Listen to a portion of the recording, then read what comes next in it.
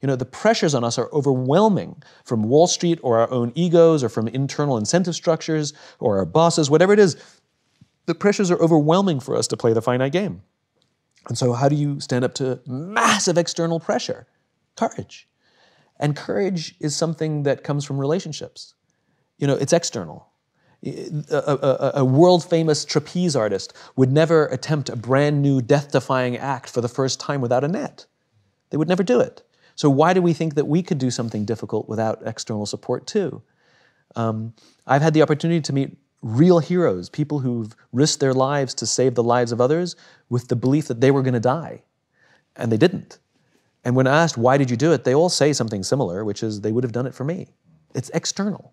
And so we have to have we have to take the time to foster and take care of people around us, to nurture our relationships, because when we're going to be doing something difficult, when we're going to be swimming upstream, when we're going to be innovating and, and, and, and, and doing something different, there are days we're going to doubt ourselves.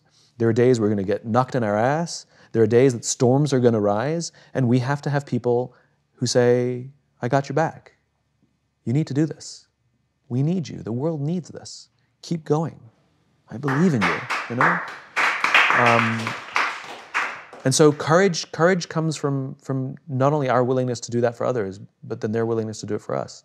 And if we commit ourselves to a just cause and we're willing to, to do those things, then you know the great thing is we take a lot of people with us and change the world for the better. And isn't that sort of the, the point of an infinite life?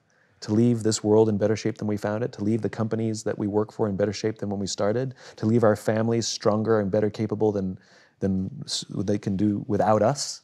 You know, isn't, isn't that what it means to live an infinite life? That we can live, literally live on beyond our own lives.